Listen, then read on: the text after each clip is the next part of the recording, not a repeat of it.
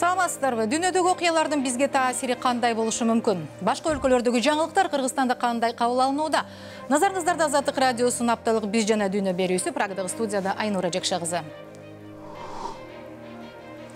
кызы өзбекстандагы сардаба дамбасы кыйрагандан кийин кошуна казакстанды кошкондо ондогон айыл кыштактарды суу каптады жүз ашуун киши эвакуацияланды. Канчалаганы үй жайсыз калды кырсыкка чындап эле табият кырсыгы же адаттан тыш катуу шамал алып келдиби же коррупция дамбанды куруудагы мыйзамсыз иштер себеп болдубу президент шавкат мирзиёев убада кылгандай күнөөлүү адамдар жоопко тартылабы үй керек бізге!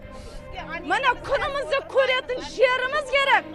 Басымызға баспана керек. Кошуна өлкөлөрдүн макулдугу жок эле ишке ашырылган дымактуу долбоорду эл аралык эксперттер текшерип өз баасын берди беле сардабанын ар бир өлкө үчүн жана жалпы аймак үчүн сабагы эмне регионалдык суу саясатына азыркы жагдайга жараша кандай өзгөртүүлөр киргизилиши керек? Өзбекстандын сырдария облусундагы сардаба дамбасы жырылып сел каптаганына үч жумадан ашты. Өзбек бийлиги түзгөн комиссия кырсыктын чоо жайын териштирип жатат бирок азаттык радиосунун өзбек кызматы озодулик иликтөө жүргүзүп курулушка заказ берген уз гидроэнерго мамлекеттик ишканасынын ошол кездеги жетекчиси абдугани сангиновго таандык компания негизги подрядчик же аткаруучу болгонун аныктаган бул аз эми кырсыкты териштирген комиссияга дал ушул сенатор сангинов кирген мындай жагдайда адилет териштирүү болобу деген суроо пайда болууда бул маселенин айланасында өзбек кызматынын журналисти шухрат бабажанов менен сөз кылабыз ал эми экинчи бөлүгүндө сардаба долбоору өзбекстанга эмне үчүн мынча керек эле? Борбор азиядагы өлкөлөр талашып тартышпай. Миллиондогон каражатты бар объектилерди чогуундо оңдоп бекемдөөгө.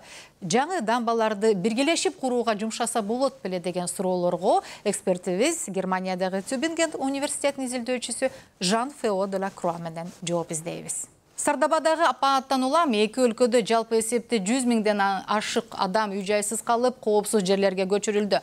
Жыйырма миң гектардан ашык жер суу астында калды. Эксперттер келтирилген чыгым миллиондогон доллар экенин белгилеп жатышат жабыр тарткан региондордогу калыбына келтирүү иштери тууралуу сюжетке көңүл буруп анан сөзүбүздү улантсак казакстандын мактарал районунда коңшу өзбекстандагы сардаба дамбасы кыйрагандан кийин үйлөрү суу астында калган айылдыктар үчүн жаңы турак жай курула баштады казак өкмөтү кырсыктан жабыркаган жарандарына киши башына жүз миң теңгеден же эки жүз кырк доллардан бере турганын жарыялады үй керек бизге мына күнүмүздү көрөтүн жерimiz керек. Басымызга баспана керек.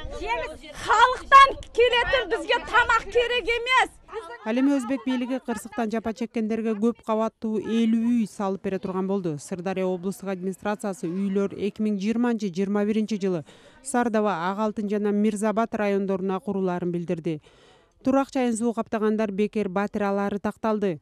Анын алдында эки өлкөнүн өкмөт башчылары абдулла арипов менен аскар мамин сардаба суу сактагычынын дамбасы жырылып кеткенден кийин суу каптаган түркстан облусуна барышкан. Алар суу алдында калган айылдарды кыдырып жаңы курула турган райондогу үйлөрдүн пайдубалын түптөө салтанатына катышты. Мырзакент кыштагына беш жүздөй үй бүлөгө жаңы турак жай түшөт. Курулушту эки өлкөнүн жумушчулары жүргүзөт биринчи майдын таңында сардаба суу сактагычындагы тосмо жырылып кеткенде өзбекстандын сырдария облусундагы жыйырма төрт айылдан токсон миңдей адам эвакуацияланган. Төрт адам каза болгон бир адам дайынсыз. Батыр аканын үйү кулап түштү. Бала бакча мектептер ооруканалар жолдор менен көп кабаттуу үйлөр түшкөн жыйырма миң гектар аянтты суу баскан. Түндө саат үч төрттө ауылга кирип кетти суу эл малын чыгарам дегенде чыгарды чыгарамагандар басын сабып алып качты жан жакка сол күнү түндө буяка ешкандай не кауп жок дегенден кийин эл бейпилүү отура берди да ал эми кошуна казакстандын түркстан облусунда он айылды каптады отуз бир миңден ашуун адам коопсуз жерлерге көчүрүлгөн жалпысынан жети миң алты жүз гектар аянтты суу каптады казакстан келтирилген зыяндын көлөмү тогуз жүз элүү миң доллар болгонун санап чыкты кырсыктан жапа чеккен э, түркістан облусунун тургундары дамба биринчи майда жарылса ал суу казакстандын аймагына үчүнчү майда жетсе эмне үчүн бийлик эки күн бою чукул чара көргөн жок деген доомат э, коюуда э, шухрат президент мирзиеев сырдария облусуна үч жолу барып кетиптир байма бай жардам жатканы да кабарланууда байкоочулар өзбекстан үчүн өтө мүнөздүү эмес деп баалаган мындай чечкиндүү аракеттерди эмне менен түшүндүрсө болот?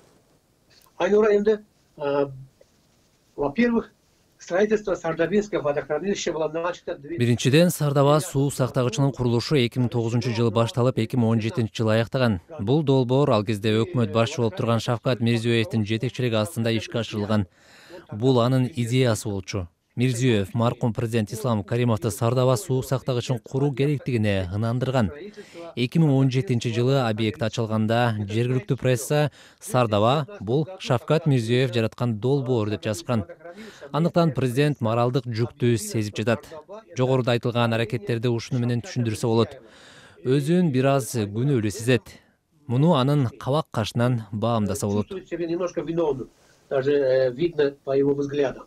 Өзбек тышкы иштер министри казакстанга барып кошуна өлкө менен мамиле чыңалып кетпесин дегендей аракет көрдү окшойт.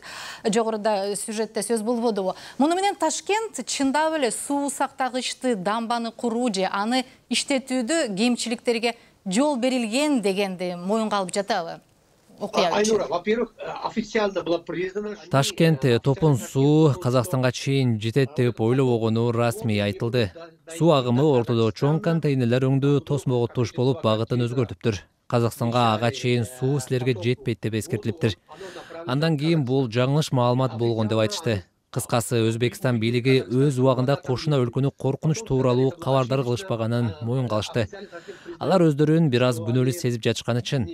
Алдыда айтканымдай мирзиеев өзүн күнөөлүү сезет ошол сезимден улам өзбекстандык миллиардер алишер усманов казакстанга да акча бөлдү өзбек премьер министри абдулла арипов кырсык болгон түркстан облусуна өзү барып кетти жардам берилүүдө менимче андан тышкары бул акыркы кезде өзбекстандын тышкы саясатында байкалып жаткан жакшы кошуналык мамиле. я думаю это хорошее соседство которое недавних времен э, э, узбекский внешней политики лидерствует. Сөзүбүздү кийинчерээк улантабыз шухрат өзбекстан башкы прокуратурасынын он алтынчы майдагы маалыматына ылайык сырдария облусундагы сардаба дамбасындагы кырсыктын чоо жайын териштирген комиссия төрт версияны териштирип жатат бирок бул версиялар арасында коррупциялык факттар тууралуу кеп жок какыраган чөлдүн ортосундагы жасалма көлдүн курулуш иштери коррупциялык элементтер менен коштолгонун жогоруда сөз кылган озодулук радиосунун атайын иликтөөсү бышыктоодо. Азыр ошол иликтөөнүн орунтуу жерлерине көз салып алсак. Кырсыктан кийин бешинчи майдагы жыйында президент шавкат мирзиеев трагедияга күнөөлүүлөр ким болбосун сот жообуна тартылаарын так кесе айткан өзбекстан башкы прокуратурасынын он алтынчы майдагы маалыматына ылайык сырдария облусундагы сардаба дамбасындагы кырсыктын чоо жайын териштирген комиссия төрт версияны текшерип жатат. Коопсуздук кызматы жана ички иштер министрлигинин тергөөчүлөр тобу дамбаны долбоорлоодогу кемчиликтер курулуш нормаларын бузуу пайдалануу маалындагы каталар жана жаратылыш кырсыгы деген версияларды иликтешүүдө сардаба суу сактагычы азыркы президент шавкат мирзиеев премьер министр болуп турганда өкмөттүн эки миң онунчу жылкы токтомуна ылайык курула баштаган өлкөдөгү алгачкы ири суу объектиси болгон анда тогуз жүз жетимиш төрт миллион куб метр суу сактоо каралган дамбанын узундугу жыйырма сегиз километр аянты алты миң сегиз жүз гектар бийиктиги отуз үч метр. Суунун максималдуу бийиктиги отуз метрден ашпашы керек. Какыраган чөлдүн ортосунда жасалма көл курууга канча акча кеткени ачык айтылбайт газета уз маалымат агенттиги өзүнүн анонимдүү булактарына таянып долбоорго төрт жүз төрт миллион доллар кеткенин жазды. Курулуш узгидроэнерго бирикмесинин заказы боюнча курулган ишкананы эки миң сегизинчи эки миң он жетинчи жылдары абдугани сангинов башкарган мамлекеттик заказды эки миң онунчу жылы сангинов берген башкы подрядчиге азыркы вице премьер очилбай раматов башкарган өзбекстан темир жолдор ишканасынын карамагына кирген уз темир жол курулуш монтаж деген ишкананын гидротехникалык объектилерди куруу дирекциясы болгон ачык маалыматтарга караганда башкы подрядчик тендер аркылуу тандалганы айтылып эмнеге өзбекстан темир жолдору ишканасы тандалганы чечмеленген эмес. Маалыматка караганда долбоорду ишке ашыруу сынагына жыйырма сегиз субподрядчик катышкан. Курулуш иштерине субподрядчиктерди ошол уз темир жол курулуш монтаж деген ишкананын дирекциясы жалдаган. Бул расмий айтылган маалыматтар. Таанышың азаттык радиосунун өзбек кызматы кырсыктан кийин иликтөө жүргүзүп сангинов буйртма берүүчүнүн ролуна канааттанбай курулушка өз фирмасы менен катышканын таап чыккан курулуш тармагындагы өзбекстандык атын атагысы келбеген атка минерлер долбоордун негизги куруучусу тупалан гидрокурулуш деген компания болгонун айтышат ал компаниянын акцияларынын алтымыш эки пайызы мамлекеттик заказ берген сангиновдун уулу ислам абдурахмановго таандык бирок бул компания кайсы баскычында кайсы бөлүгүндө жана кандай иштерди бүтүргөнү ачык жазылган эмес. Сангенов азыркы вице премьер раматовду башкы подрядчик кылып алат. Раматов башкы подрядчик катары сангиновдун тупалан гидрокурылыш деген компаниясын жалдайт. Башкача айтканда сангинов оң колу менен берген он миллиондогон доллар каражат айланып келип сол колуна же өзүнүн үй бүлөлүк бизнесине өткөрүлүп турган. Жогоруда айтылган төрт жүз төрт миллион доллардын канчасы дал ушул тарапка түшкөнү коммерциялык сыр.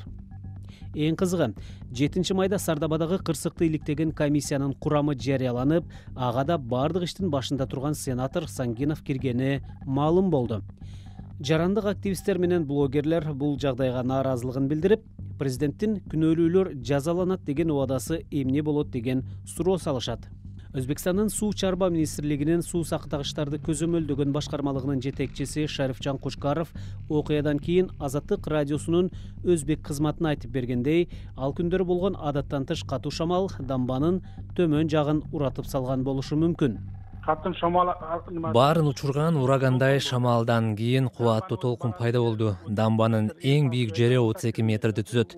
Эң төмөн жери жыйырма сегиз метр. Ылдыйкы жагы урап калып толкун жууп кеткен. Болжолу менен акыркы эки үч күн болуп жаткан катуу шамал дамбанын кыйрашына алып келди.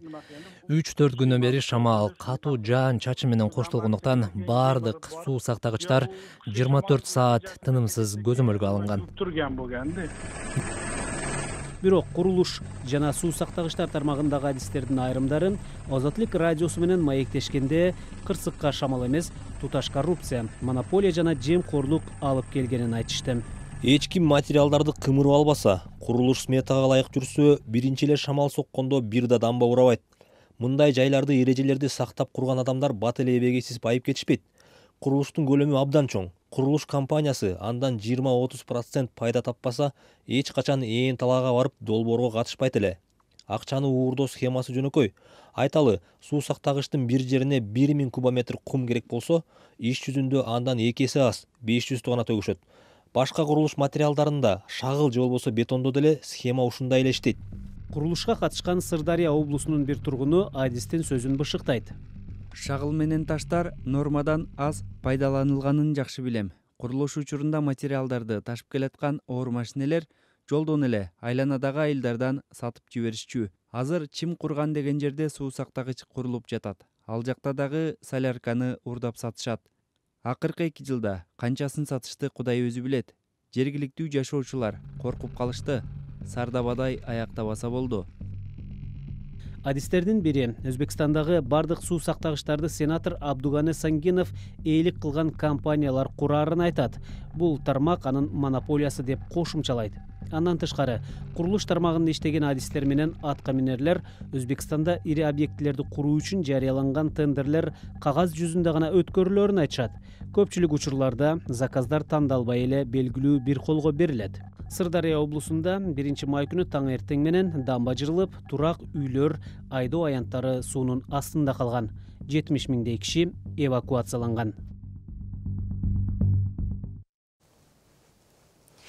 шухрат сиздердин иликтөөнүн борборундагы сенатор сангинов өзү ким анын президент менен жакын байланыштары бар деген имиштер канчалык чындыкка дал келет айнура в состав комиссии өкмөттүк комиссиянын курамына уз гидронун жетекчиси сангиновдун кириши алдыда айтылгандай жарандык коомдун активисттери менен блогерлерди нааразы кылды сангинов президент мирзиеевдин администрация башчысынын бир тууган агасы фахриддин низамуддиновдун жакын досу болчу ал сараосио районунун акиминин курулуш маселелери боюнча орун басары болуп иштеген шавкат мирзиеев менен эң жакшы мамиледе болчу инисин окутуп мирзиеевдин канаты астына жөнөткөн мындан алты жылдай мурун фахриддин низамуддинов өтүп кеткен. Мирзиеев премьер учурунда анын тажыясына да качкан сангинов низамуддиновду президент менен тыгыз достук мамиле байланыштырат. Биздин булактар алар жаш кезинде бир жатаканада турушкан деп да айтышат. Жили даже в одних общежитиях когда-то. Айнура.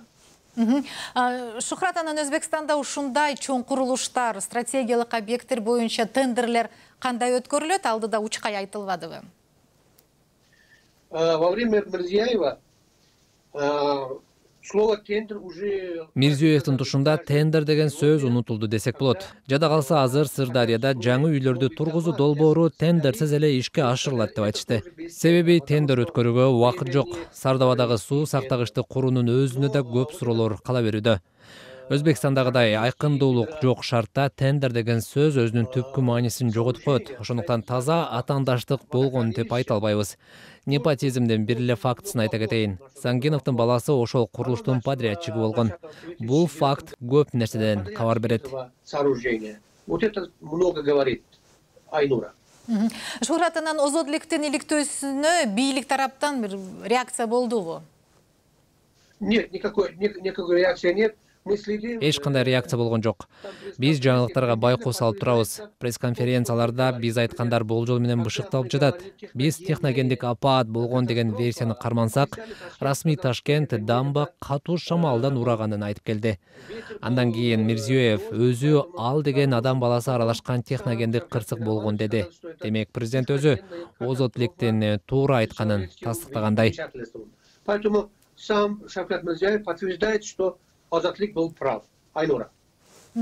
Рахмат биздин маектешибиз азаттыктын өзбек редакциясынын журналисти э, шухрат бабажанов болду берүүбүздү улантабыз сардабадагы кырсыктан кийин казакстандын экология геология жана жаратылыш ресурстары министринин орун басары сергей громов чек арадагы гидротехникалык тууралуу өзбекстандан толук маалымат талап кылган нота даярдалганын билдирген ал сардаба суу сактагычы убагында казак тарап менен макулдашылбай курулганын да белгилеген бирок көп узабай казак тышкы иштер министрлигинин басма сөз катчысы айбек ысмадияров нота жөнөтүлбөй калганын чечим суу каптоонун кесепетин жоюуда өкмөттөр менен чектеш аймактардын жетекчилиги тыгыз иштешип жатканын эске алуу менен кабыл алынганын билдирди эки өлкө ортосундагы суу маселесине азаттыктын казак редакциясы менен маекте мурдагы суу чарба министри нариман кыпшакбаев токтолду эч кандай сырдарыянын боюнда жаңадан бір объектті бірдеңе салатын болсақ өзара келісеміз деген мың тоғыз жүз тоқсан екінші жылы он сегізінші ақпанда бес мемлекет амудария мен сырдарияның келісіміне қол қойғанбыз үкіметіміздің артынан. Демек осы келісім бұзылып тұр ғой осы сардобаны салынғанда. Ол келісім бүгін күшінде осы келісім бүгінде бұзылып тұр. Ол салуын заңсыз салды дейік жарайды сал е дұрыстап салсай деген мәселе. Қауіпсіздік оның ә, тұрақтылығы жаңа қалай дейді орысша устойчивость латин дейді ғой. Мықтылығын сақтай алмады оны ол екінші нәрсе болады ей біздің төбемізден су қоймасын саласың. Заңсыз. Еще оны сапасыз саласың деген мәселе туып отыр бүгінгі күнде. Сиздер азаттыктын биз жана дүйнө берүүсүн көрүп жатасыздар. Прагадагы студияда айнура жекше сардаба долбоору өзбекстанга эмне үчүн мынча керек эле борбор азиядагы өлкөлөр талашып тартышпай миллиондогон каражатты бар объектилерди чогууңдоп бекемдөөгө жаңы дамбаларды биргелешип курууга жумшаса болот беле ушул жана башка суроолорубузга германиядагы тюбинген университетинин изилдөөчүсү жан фео де ла круа менен жооп издейбиз жан саламатсызбы? Саламатсызбы айнура. Эмесе сардаба суу сактагычындагы техникалык кырсыктын чөлкөмдөгү ар бир өлкө үчүн жана жалпы регион үчүн сабагы кандай. Э, ошол катастрофадан э, жакшы сабактар табаш керек. Бул м, жалаң бир кишинин каалоосу эмес бул системасы ичинде сабактар табаш керек проектировка боюнча дагы сын пикирлер болуп жатат демек экологиялык коопсуздуктан сырткары суу сактагычтардын техникалык да башкачуу э, башка башкаруулук э, жааганда катуу көзөмөлгө алыш керек. Э, жалпысына негизи эле сейсмо сейсмоактивдүү аймактарда атомдук электр станцияларды бийик имараттарында жана башка чоң инфраструктуралык долбоорлорду курууда ар кандай э, коркунучтар болот. Э, жалпысына бул эски инфраструктура үчүн окшош. Жан анан ушул сардабаны курууда коопсуздук чаралары сакталганбы? Кабарыңыз барбы? Долбоордун э, ыктымал коопсуздугу андагы тобокелчиликтерди алдын алуу деңгээлин эл аралык эксперттер баалады беле. Ушул именно сардаба жөнүндө ошол айта албайм ошону билбейм Бирок ошол ичинде бул дагы проблема себеби жалпысына ошол маалымат ачык айта албайт тендерлер жөнүндө мисалы анан сиз айткандансыз эмне анан эмне анан кийин болот тез тез билбейбиз бул проблема а жалпысына мисалы ушундай э, негизги тосмолордун коопсуздугу текшерүү орто азиянын баардык өлкөлөрүнүн жана келген жана эл аралык э, серепчилерден турган көз карандысыз мекеме э, жүргүзүш керек.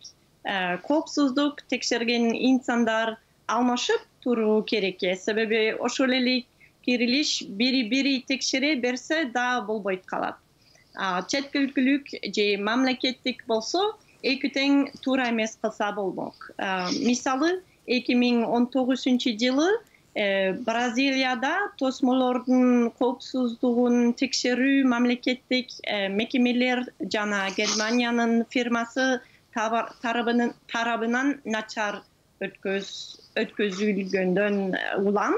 Анан бир шаар суу астында калып эки миң элүү киши каза тапкан. Э, жан э, негизинен да жалпысынан сардаба долбоору өзбекстанга эмне үчүн керек эле? Кыргызстан жыл сайын ансыз да суу берип турат да. Борбордук азиянын ар бир өлкөсүнө анан ичинде кыргызстанда да суу аз деген сезим бар бул сезим келечекте жоголпойт себеби калктын санынын өсүшү айыл чарба жана өндүрүштүн баардыгына суу керек. Негизи суунун берилүү убактысы ке- э, көйгөй жаратат. Кыргызстан жайыл жайында суу топтоп э, кышында электр кубат чыгаруу үчүн э, сууну таштаса өзбекстан үчүн көйгөйлөр жаралат алар үчүн мындай көрүнүшү жайында дыйкандар үчүн суунун азайышына жана кышында суу каптоонун э, коркунучун көбөйүүсүнө алып келет мындай көрүнүш э, бир өлкөнүн ичинде да болушу мүмкүн. Мисалы арал жакта жашаган дыйкандар суу боюнча суу боюнча алардан жогоругураак э, жайгашкан аймактар качан суу жиберерин так билишпейт. Демек бул мындай эле чоочулоо э ошондо коркуу суу азайып калат деп. Жан анан дамба суу сактагычтарды куруу региондогу суу талаштын бир чоң бөлүгү ислам каримов улуттар уюмунун трибунасынан дала ирет эч кимге гидроэнергетикалык ири объектилерди курдурбайм деп э, кайталап келгени бар. Э, саясий жагдай азыр өзгөрүп атат суу объектилерин куруу маселесинде регионалдык саясаттын өзгөргөнү байкалып жатабы Э, жалпысына азыр э, байланыштар өзбекстан кыргызстан казакстан тажикстан менен э, жалпысына бир аз э, жакшыраак болуп кетишти сөзсүз Э, бирок э, жалпы э, ошондой суроо э, коюш керек. Ошондой дамбалар эмне үчүн кимге пай- пай- пайдалуу мисалы өзүнүн эл электр үчүн же экспорт кылабыз ошол свет менен эмне кылабыз ошол ошол дамбалар менен? А жалпысына мисалы борбордук азия өлкөлөр баарына сууга болгон муктаждыгын кандыра алат. Мисалы орто чыгыш сыяктуу дүйнөнүн башка аймактарында суу мындай да аз. Ошондуктан келечектин талаптарын эске алып өнүгүү жолун тандаса туура болчудай. Мисалы пахта же күрүч сыяктуу суунун көп талап кылган өнүмдөргө басым жасабай Э, сууну азыраак талап кылган жана кургакчылыкка э, туруштүккө бере алган өсүмдүктөргө жана жаныбарларга баккан э, ийкемдүү жер пайдалануу ыкмаларды колдош керек бул жалпы суроола бул жөн эле дамба керек же дамба керек эмес бул кичинерээк суроо ошондой айтсак айтсак керек. Жан э, чек ара суулары канчага чейин дарыялардын төмөн жана жогору жагындагы өлкөлөр ортосундагы тирешүү куралы бойдон кала берет. Э, сизге жакшы мисал берейин э. Мисалы фергана жакта э, достук айыл өкмөтү жана нуукен району чектеш жерде жайгашып бир каналды өзбекстан менен чогуу колдонот тигиз мамиледе болушу суу маселеси маселесин жергиликтүү башчылар өз ара чечип алышат анан дагы илий суусу э, ичинде ошондой программасы бар ал көбүнчө э, жакшыраак иштейт нарын сырдарыянын суу менен э, салынган Э, жалпысына э, ошондой түшүнүш керек. Орто азия бул бир регион. Э, кээ бир жакта суусу бар кээ бир жакта суусу жок. Бирок жалпы бул сиздики же меники бул ошондой суроо эмес. Себеби баары бир климат ичинде бир суу менен сыр дарыя менен жашашабыз. Анан мисалы башка жерден жакшы мисалдар бар мисалы жаңы зеландияга сыяктуу кээ бир мамлекеттер дарыяларга мыйзамдык укуктарга укуктарды укуктарды бекей баштады мисалы индияда дагы гангес менен а бул суу колдонуучуларда гана эмес дарыянын өзүн жана суунун сапатын сактоо өбөлгөй болот ошону менен бирге коопсуздугу жакшыраак жана ачык айкын жүргүзүлгөн долбоорлор керек. Мисалы чаккан гэстер күйүүн электр станциялар жана башка ушундай сыяктуу долбоорлор орто азия элдерине пайда келтириши мүмкүн ошол эле сиз айткан мисалы үчүн чакан гидроэлектростанциялар деп атасыз. Ошолорду чогуу мындай акча дагы үнөмдөлөт да. Ошолорго чогуу инвестиция салууга эмне тоскоол болуп жатат?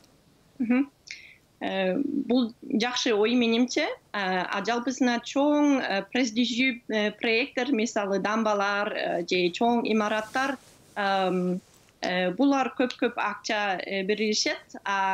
Инфраструктура оңдоп берсе мисалы каналдар бул аябай негизги да. Кырк э, же алтымыш процент биздин суу орто азияда ошол жаман инфраструктура аркылуу кетет. Ошол суу тапса үчүн ошондой дамба кереги жок чын эле. Эгерде биз ошол жакта көбүрөөк акча бурулушабыз. Э, жакшы болмок мисалы ремонттарда.